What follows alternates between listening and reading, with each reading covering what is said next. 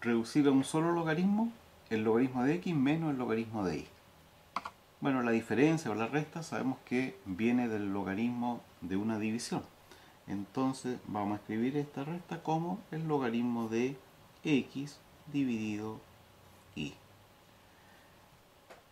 Si tuviésemos que desarrollar logaritmo de x dividido y, sabemos que el logaritmo de una división o el logaritmo de una fracción corresponde al logaritmo de x menos el logaritmo de y. O sea, son procesos inversos que estamos resolviendo.